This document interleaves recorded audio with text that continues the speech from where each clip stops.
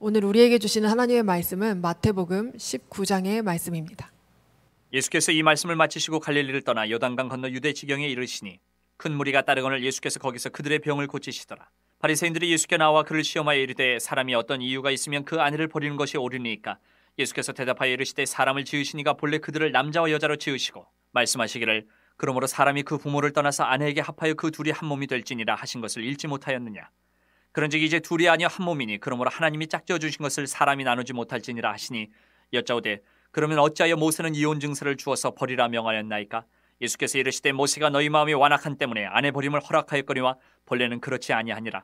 내가 너희에게 말하노니 누구든지 음행한 이유 외에 아내를 버리고 다른 데 장가드는 자는 가늠함이니라. 제자들이 이르되 만일 사람이 아내에게 이같이 할진대 장가들지 않는 것이 좋겠나이다. 예수께서 이르시되 사람마다 이 말을 받지 못하고 오직 타고난 자라야 할지니라 어머니의 태로부터 된 고자도 있고 사람이 만든 고자도 있고 천국을 위하여 스스로 된 고자도 있도다. 이 말을 받을 만한 자는 받을지어다. 그때 사람들이 예수께서 안수하고 기도해 주심을 바라고 어린아이들을 데리고 오매 제자들이 꾸짖거늘 예수께서 이르시되 어린아이들을 용납하고 내게 오는 것을 금하지 말라. 천국이 이런 사람이 것이니라 하시고 그들에게 안수하시고 거기를 떠나시니라. 어떤 사람이 죽게 와서 이르되 선생님이여 내가 무슨 선한 일을 하여야 영생을 얻으리이까 예수께서 이르시되 어찌하여 선한 일을 내게 묻느냐 선한 이는 오직 한 분이시니라 내가 생명에 들어가려면 계명들을 지키라. 이르되 어느 계명이 오니까 예수께서 이르시되 살인하지 말라, 가늠하지 말라, 도둑질하지 말라, 거짓 증언하지 말라. 내 부모를 공경하라, 내 이웃을 내 자신과 같이 사랑하라 하신 것이니라. 그 청년이 이르되 이 모든 것을 내가 싸운데 아직도 무엇이 부족하니까? 예수께서 이르시되 내가 온전하고자 할진대 가서 네 소유를 팔아 가난한 자들에게 주라. 그러면 하늘에서 보화가 내게 있으리라. 그리고 와서 나를 따르라 하시니 그 청년이 재물이 많으므로 이 말씀을 듣고 근심하며 가니라. 예수께서 제자들에게 이르시되 내가 진실로 너희에게 이르노니 부자는 천국에 들어가기가 어려우니라. 다시 너에게 말하노니 낙타가 바늘기로 들어가는 것이 부자가 하나님의 나라에 들어가는 것보다 쉬우니라 하시니 제자들이 듣고 몹시 놀라 이르되 그렇다면 누가 구원을 얻을 수 있으리까? 예수께서 그들을 보시며 이르시되 사람으로는 할 수 없으나 하나님으로서는 다 하실 수 있느니라. 예 베드로가 대답하여 이르되 보소서 우리가 모든 것을 버리고 주를 따라 싸운데 그런즉 우리가 무엇을 얻으리이까? 예수께서 이르시되 내가 진실로 너에게 이르노니 세상이 새롭게 되어 인자가 자기 영광의 보좌에 앉을 때 나를 따르는 너희도 열두 보좌에 앉아 이스라엘 열두 지파를 심판하리라 또 내 이름을 위하여 집이나 형제나 자매나 부모나 자식이나 전토를 벌인 자마다 여러 배를 받고 또 영생을 상속하리라. 그러나 먼저 된 자로서 나중되고 나중된 자로서 먼저 될 자가 많으니라. 아멘. 하나님의 말씀입니다. 예수님께서 갈릴리에서의 사역을 마치시고 이제 유대 지경으로 그 거점을 옮기셨습니다. 이렇게 마태복음 19장, 20장은 예루살렘에 입성하기 전 공생의 마지막 6개월간의 기록으로 또 한 번의 전환점이 이루어지고 있습니다. 그리고 십자가 순환이 점점 가까워져 가는 것을 알 수가 있습니다. 예수님께서 유대지경으로 오시자 바리새인들의 시험이 다시 시작이 됩니다. 오늘 본문은 바리새인들의 이혼 바리새인들과의 이혼 논쟁과 또 부자 청년과의 대화 이 두 가지 사건의 사건이 중심을 이룹니다. 이 두 가지 사건은 별개의 사건 같지만 같은 맥락 안에서 하나님을 섬기는 우리의 마음의 동기가 무엇인지에 대하여서 돌아보게 하십니다. 먼저 바리새인들이 예수님께 찾아와서 당시 가장 민감한 문제라고 할 수 있는 이혼 문제를 꺼내 들었습니다. 당시 세례 요한이 죽은 지 얼마 되지 않은 상황 가운데 있었는데 그 이유가 헤롯 안디바가 특별한 이유 없이 전처와 이혼하고 자신의 배다른 동생이었던 빌립의 아내 헤로디아와 결혼했다, 결혼한 것에 대하여서 세례, 세례 요한이 옳지 않다고 말했기 때문인 그러한 상황이었습니다. 그뿐, 그뿐만 아니라 당시 바리새인들 안에서도 이혼의 조건에 대한 논쟁이 있었습니다. 조금 바리새인들 안에서도 조금 더 엄격한 학파에 있는 사람들은 성적 부정이 있을 때만 이혼이 성립된다 그렇게 주장하였고 다른 학파에서는 음식을 망, 망치거나 접시를 깨뜨리거나 하는 것도 이혼 사유가 되고 심지어 현재 아내보다 더 훌륭한 여자를 아내를 발견하는 것도 이혼 사유가 된다고 보았던 것입니다. 그러니 실제는 이유, 정말 이혼할 이유가 있어서 어, 그렇게 이혼을 하려고 하는 것이 아니라 이유를 만들어내서 아내를 버리, 버리는 일들이 일어났던 것입니다. 예수님께서는 결혼 제도를 만드신 하나님의 말씀대로 한 몸이 되었으니 이제 사람이 나누지 못한다 그렇게 말씀하십니다.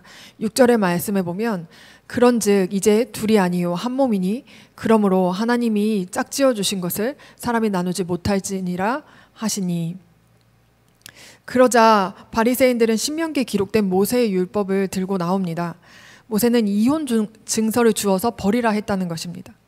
그러나 이러한 계명은 이혼을 합법화하기 위한 것이 아니었습니다.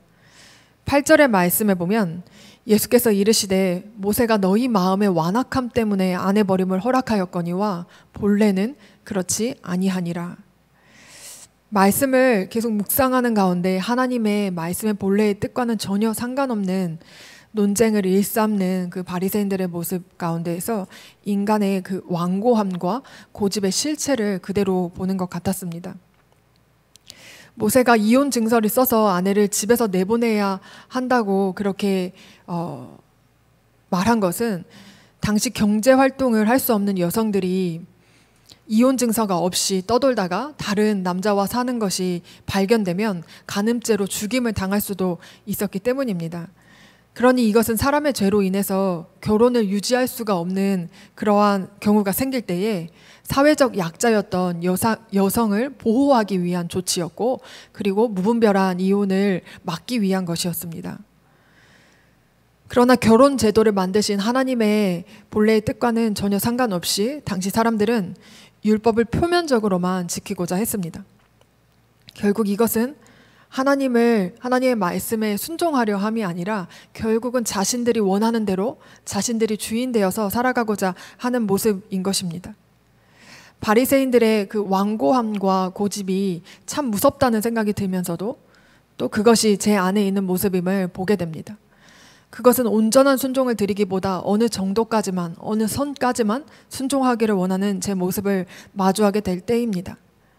이러한 저 자신의 완고함과 고집을 내려놓고 또 하나님께 완전한 순종을 드리기 위한 이러한 훈련은 날마다 계속되고 있습니다. 내가 주인 되어서 마음대로 하고 싶은 자아의 생각을 내려놓고 날마다 주님 앞에 죽음을 고백하며 완전한 순종을 드리기로 결단하는 것입니다. 이러한 순종 훈련이 우리 모든 성, 성도님들의 삶 가운데도 계속되고 그렇게 우리의 마음의 그 온전한 순종을 주님 앞에 드릴 수 있게 되기를 원합니다.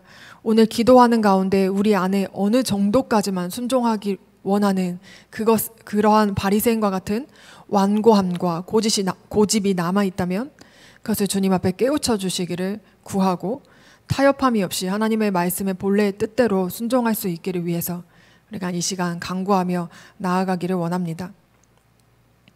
성도님들이 익히 알고 계시는 부자 청년 이야기도 이와 같은 맥락 안에 있습니다.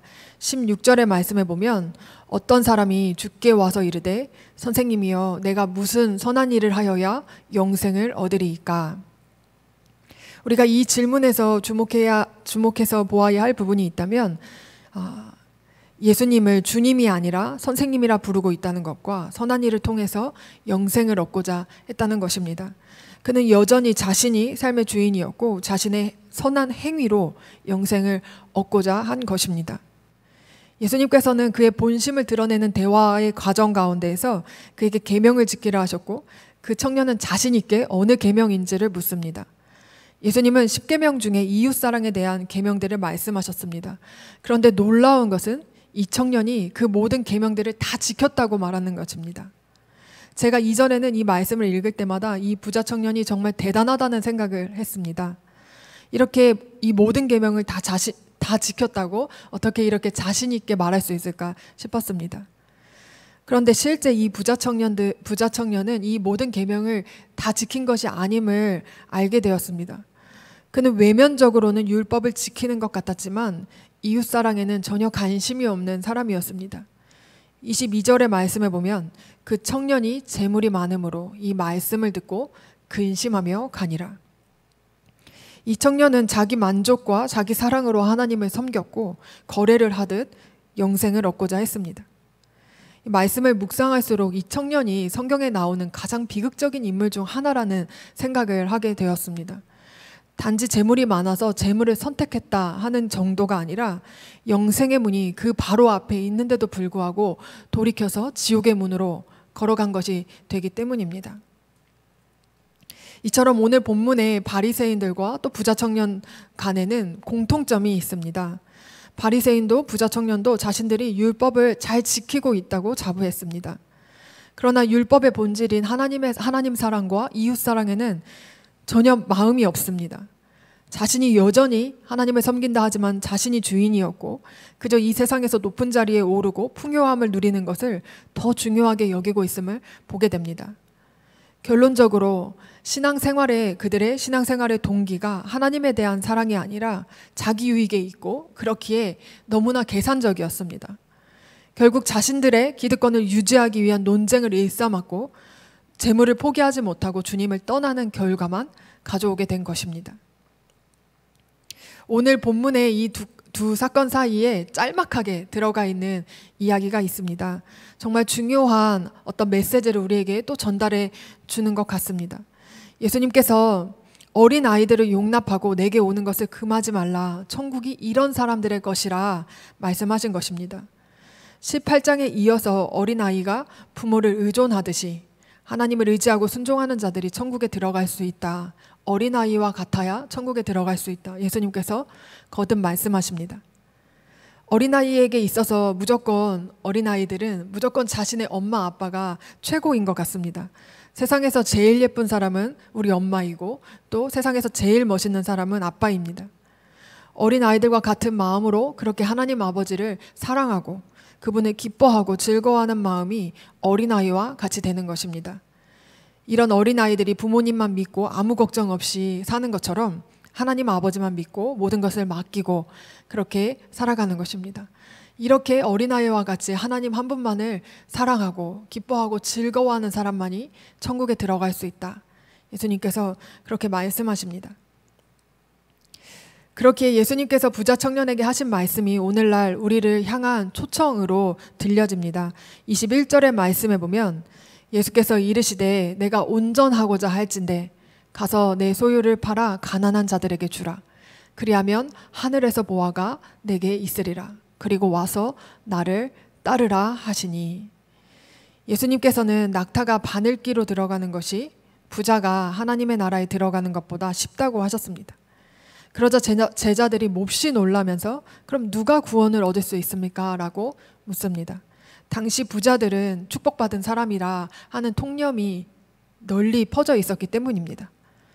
예수님께서 부자가 하나님의 나라에 들어가기가 어렵다 그렇게 말씀하신 것은 단지 돈이 많은 모든 그런 사람들이 천국에 들어갈 수 없다 하신 것이 아닙니다.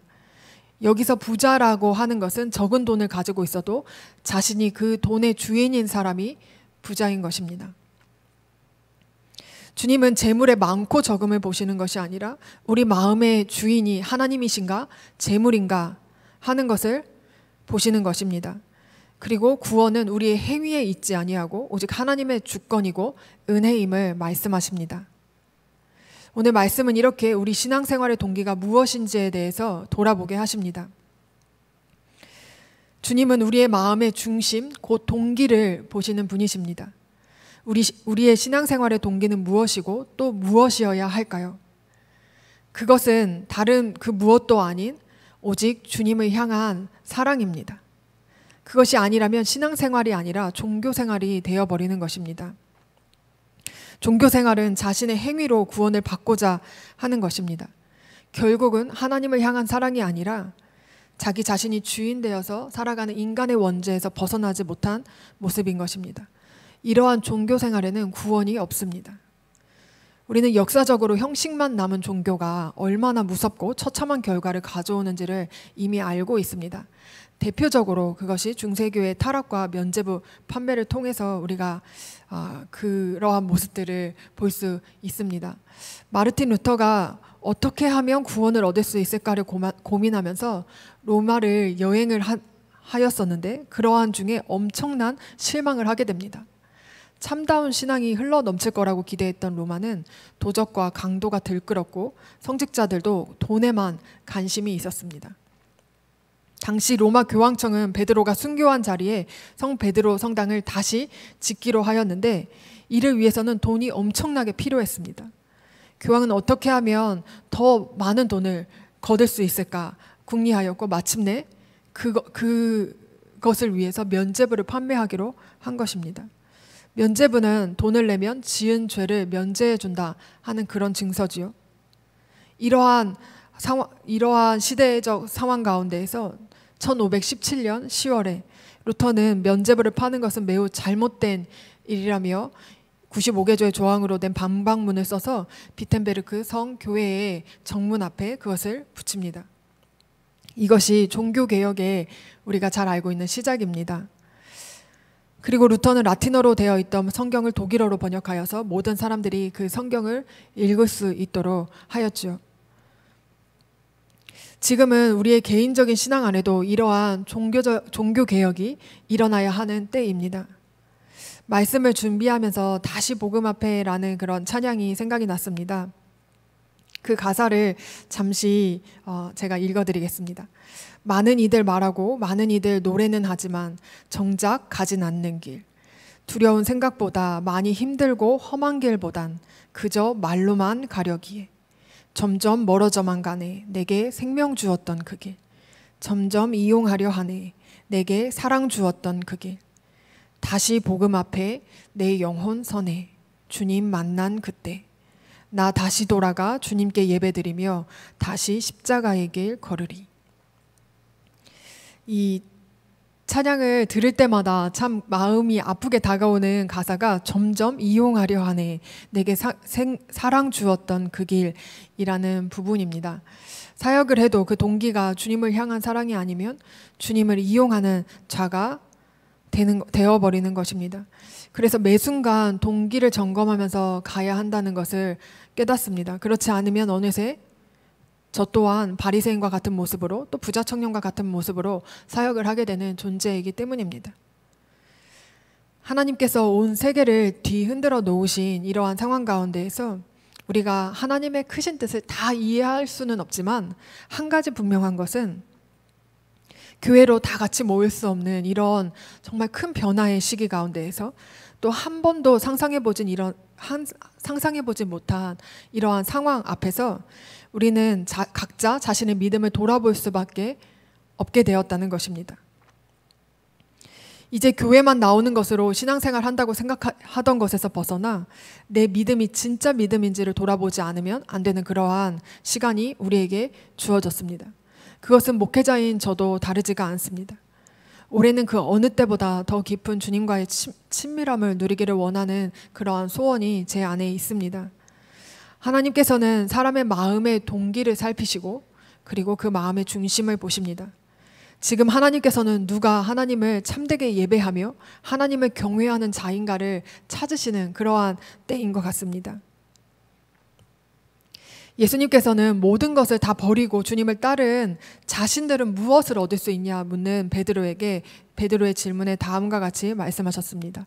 29절의 말씀에 보면 내 이름을 위하여 집이나 형제나 자매나 부모나 자식이나 전토를 벌인 자마다 여러 배를 받고 또 영생을 상속하리라. 이 모든 것들은 하나같이 다 버리기가 너무나 어려운 것들입니다. 그런데 주님께서는 실제로 이러한 모든 것들을 다 버리고 예수님을 따라야 한다라고 말씀하신 것은 아닙니다. 이 모든 것들보다 하나님께서 우선된 삶을 살아야 한다. 그 우선순위에 대해서 말씀해 주고 계시는 것입니다. 그러한 자들에게 그 이러한 모든 것보다 더 하나님이 그 삶의 중심이 되고 그렇게 하나님을 섬기는 자들에게 주어지는 것이 영생입니다. 이처럼 우리도 그 무엇과 또 타협하지 않는 그러한 믿음으로 하나님의 중, 하나님 중심의 삶으로 우리의 삶이 돌이켜지고 새롭게 되는 일을 위하여서 이 시간 합심하여서 함께 기도하며 나아가겠습니다. 두 번, 두 가지 기도 제목으로 이 시간 함께 기도하겠습니다. 먼저 8절의 말씀입니다. 예수께서 이르시되 모세가 너희 마음의 완악함 때문에 아내 버림을 허락하였거니와 본래는 그렇지 아니하니라. 우리가 이 시간 우리 마음에 바리새인과 같은 완고함과 고집이 있다면 그것을 깨우쳐 주시고 그것이 다 꺾여지기를 위해서 주님 앞에 구하겠습니다. 우리가 어느 정도까지만 순종하고 싶어 하는 그러한 부분들, 이제는 완전한 순종을 드리겠다고 주님 앞에 고백하며, 이제 하나님의 말씀의 본 뜻이 무엇인지 우리의 마음을 두고 그 뜻대로 순종할 수 있게 하여 주시옵소서, 날마다 죽음을 고백하며 주 앞에 완전한 순종을 드리는 자 되게 하여 주시옵소서, 우리 함께 기도하겠습니다. 아버지 하나님 이 시간 주님의 말씀을 들려주시고 또 주님 앞에 우리의 마음을 고백할 수 있는 시간 되게 하심에 너무나 감사를 드립니다. 하나님 너무나 무섭고 참 하나님 어, 그러한 그 바리새인들의 완고함과 하나님 고집의 모습을 보면서 고집된 모습을 보면서 그것이 또 저의 모습임을 하나님 고백하지 않을 수가 없습니다. 주님 여전히 어느 정도까지만 순종하기 원하는 그런 완고함과 고집이 제 안에도 있습니다. 하나님 이것을 하나님 넘어서서 정말 완전한 순종을 주님 앞에 드릴 수 있기를 원합니다. 하나님 이 순종 훈련이 하나님 주님 앞에서 계속되게 하여 주시고 날마다 하나님 저의 죽음을 고백하며 주님 앞에 완전한 순종을 드리며 나아갈 수 있기를 원합니다. 주님 이 모든 하나님 제 안에 하나님 왕감과 고집이 꺾여지게 하여 주시고 이제는 주님의 말씀의 본 뜻을 깨달아 알아서 하나님 그 말씀대로 순종할 수 있는 자로 하나님 살아갈 수 있게 하여 주시옵소서. 이제는 하나님 정말 어느 정도만 하나님 하, 는 순종 그러한 불순종으로 하나님 살지 않게 하여 주시고 주님 앞에 그 마음을 다한 순종을 드리며 하나님 그렇게 주님을 따를 수 있게 되기를 간절히 하나님 원합니다. 주님 정말 주님께서 하나님 우리 안에 있는 모든 왕관 과 고집들 하나님 다 제하여 버려 주시고 하나님 기쁨으로 주님 앞에 하나님 아버지 완전한 순종으로 나아갈 수 있도록 하여 주시옵소서. 하나님 우리의 눈을 열어 주시고 정말 주님께서 하나님 기뻐하시는 그 순종을 우리가 드릴 수 있게 하여 주시옵소서. 21절의 말씀 붙잡고 한 번만 더 합심해서 기도하겠습니다. 예수께서 이르시되 내가 온전하고자 할진대 가서 내 소유를 팔아 가난한 자들에게 주라. 그리하면 하늘에서 보화가 내게 있으리라. 그리고 와서 나를 따르라 하시니 이 시간 우리가 우리의 삶에도 종교 개혁이 일어나서 개인적인 우리의 신앙 안에도 어, 종교 개혁이 일어나 진짜 믿음으로 살고 있는지를 점검할 수 있기를 위해서 기도하겠습니다. 예수님이 우리의 삶의 주인 되심을 고백하며 모든 것을 아낌없이 드리며 주님 한 분만을 따르는 그러한 삶이 되게 하여 주시옵소서. 우리 다시 한번 간절함으로 함께 기도하며 나아가겠습니다. 아버지 하나님 주님께서 우리 마음의 중심을 보시고 우리의 마음의 동기를 보시는데 하나님 정말 이제 다시 한번 주님께서 우리의 삶의 주인 되심을 고백하며 하나님 정말 주님 앞에 나아갈 수 있는 우리 모두가 되기를 원합니다. 주님 주님 앞에 모든 것을 아낌없이 드리며 주님을 따를 수 있는 자들 되게 하여 주시옵소서. 하나님 우리 안에 하나님 정말 하나님 우리의 믿음이 참 믿음인가 하는 것을 점검할 수 있는 기회를 주심에 감사를 드립니다. 이 시간에 정말 우리의 믿음을 점검할 수 있는 시간 되게 하여 주시고 하나님 정말 하나님께서 찾으시는 한 사람의 예배자요 하나님을 경외하는 자로 서게 하여 주시옵소서.